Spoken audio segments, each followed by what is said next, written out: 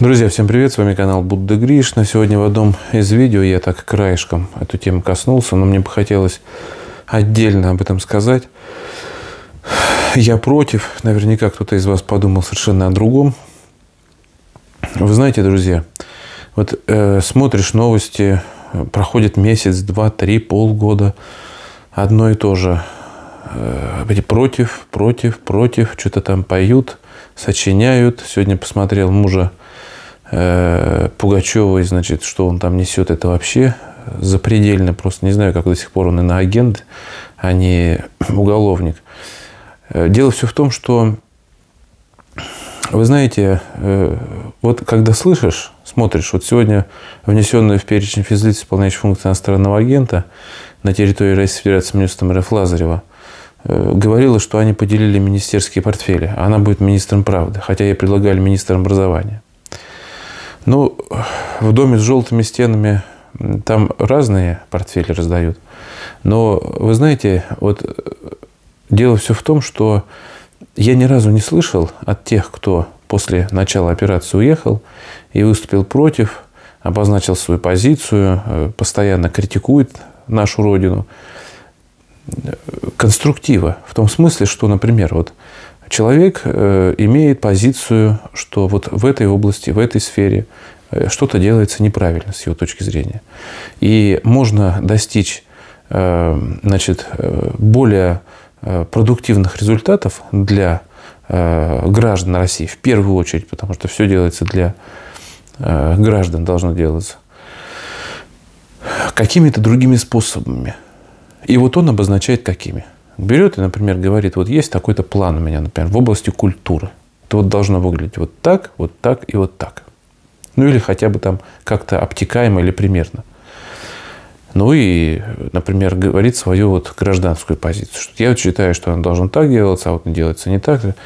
Но нет, понимаете, они все говорят об одном. Вайкули говорит о том, что э, внесенный в перечень физлиц, выполняющих функции иностранного агента, на территории Российской Федерации министром РФ Галкин должен быть президентом, призывает россиян голосовать за него. А, значит, э, Лазарева, а, иноагент, говорит о том, что вот министерский портфель. А, то есть они все мечтают об одном – власть и деньги. Кормушка. Делить ее самим.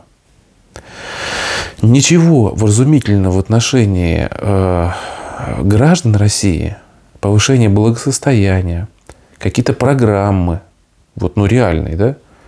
Ничего этого я ни разу не слышал вообще. Кроме призывов все остановить,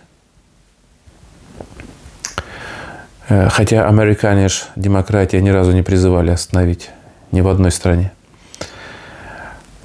Все остановить, все, значит, заморозить или там вообще закончить и грязи, грязи, грязи в отношении и россиян, рабы-холопы, и в отношении России. Э, сегодня стало известно, что певица Мариам Мирабова, которая работала в вокальной школе Пугачевой, слышала их разговоры с Ротару, когда они называли Россию Мордором. Мордор – это, я сегодня прочитал «Властелин колец», там э, это как вот ну, место зла, страна зла, сил, тьма, тьма, ну вот, понимаете, да?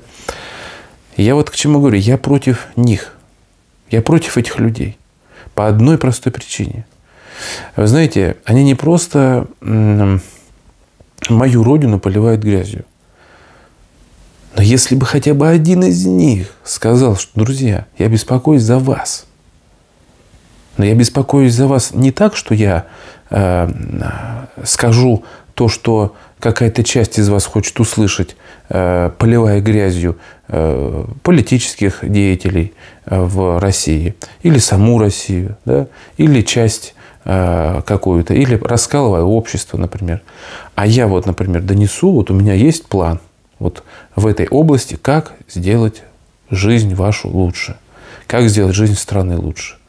Нет, ничего подобного. Знаете почему? Как я подумал? Это мое мнение. Потому что заокеанские хозяева не имеют своей задачи сделать жизнь кого-либо лучше, кроме себя. Тому примером много стран, начиная с Югославии, заканчивая Ливией там, и так далее. Ни в одной стране они не имели цели улучшить жизнь граждан. Они имели целью пополнить свою экономику где-то нефтью, где-то расширить влияние, где-то деньгами, где-то еще чем-то, где-то надавить на какие-то другие страны. Но так или иначе все связано было с деньгами. То, что там потом творилось в этих странах, там начинались гражданские войны, там голод был, им было абсолютно плевать на это вообще.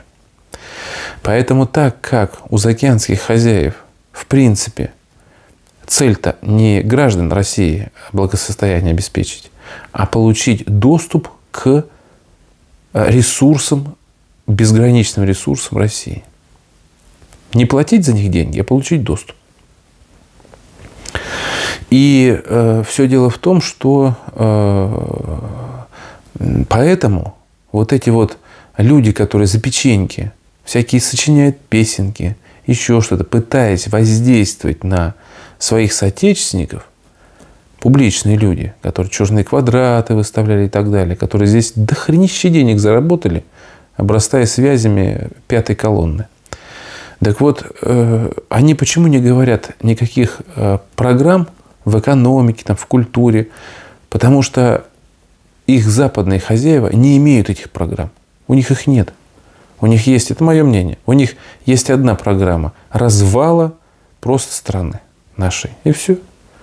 Поэтому их задача, она стоит не в том, чтобы сказать, друзья, вот, вот я знаю, как вот в этой области сделать. Вы знаете, мне кажется, что если человек, он действительно болел душой, и, например, в области культуры у него была бы мысль, как улучшить.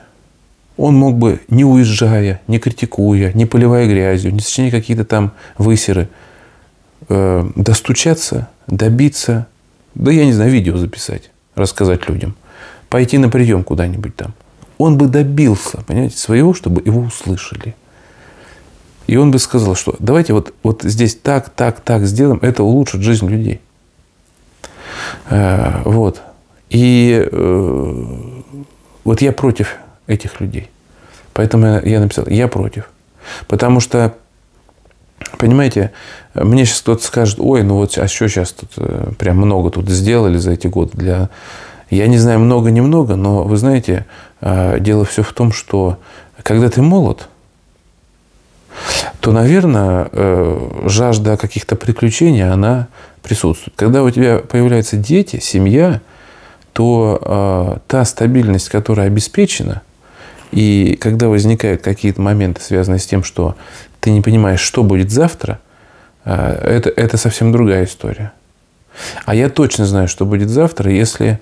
Э, они же в открытую говорят. Они же в открытую говорят. Наша задача раздробить Россию, разделить Россию, ослабить ее и э, сделать так, чтобы, так сказать, э, добиться ослабления России и получить доступ к ресурсам. Поэтому вот мы сколько с вами говорим о деятелях культуры, они заказ хорошо отрабатывают. Но при всем при этом их основная и главная ошибка, они бы хоть прикрылись тем, что они э, хоть немножко говорили, что мы, мол, того, что заботимся о россиянах, хоть что-нибудь придумали бы путное, путнее сказать, что вот, э, вот так, вот так вот можно вашу жизнь улучшить. Все то же самое касается позиционеров, которые сидят в Европе, выкладывают свои высеры в интернет в плане того, что э, какие-то статистики, там, какие-то там пытки, какую-то хренотень, это все. Понимаете, ни один из них, ни один из них, я не видел ни разу, не, не публиковал программу, что он, вот как он видит сделать так, чтобы жизнь граждан была лучше. Потому что у всех у них голова забита только одним. Как сделать свою жизнь лучше за счет России. Все.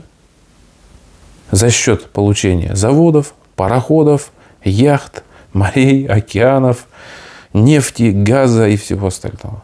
Вот и все. Поэтому, друзья, вы знаете, вот э, это вот отличительная черта всех вот этих вот людей, которые вокруг России сидят и даже сейчас, будучи там, кормятся на том, что критикуют Россию. Они даже там кормятся на этом. Они даже там не могут э, на концертной деятельности кормиться. Возьмите того же Галкина, который ездит и вроде как дает концерты в других странах. Он кормится за счет того, что он шутит, э, поливая грязью нашу страну Россию. Если бы не Россия, у него бы не было концертной программы. Поэтому исключить Россию в принципе невозможно. Никак. И они все это понимают. В этом э, для них проблема. Потому что Россия – это мы с вами, россияне. А нас исключить не вариант. Друзья, э, интересно ваше мнение, что думаете на сей счет. Я так в свободной форме донес до вас свои мысли. Может быть, у кого-то откликнется в сердце, пишите в комментариях. С вами был Будда Гришна. Подписывайтесь на канал, кому интересно. Ссылочку в закрепленном комментарии в описании к видео для поддержки канала. Кому нравятся мои ролики, можете поддержать канал Будда Гришна. Подписывайтесь на мой телеграм-канал Будда Гришна Новости. Новости в формате 24 на 7. И внизу ссылочка есть на мои социальные сети ВКонтакте, Одноклассники, запрещен грамм. Добро пожаловать, заходите, подписывайтесь, читайте. Можем взаимодействовать. Успехов, здоровья вам всем. Пока, до встречи.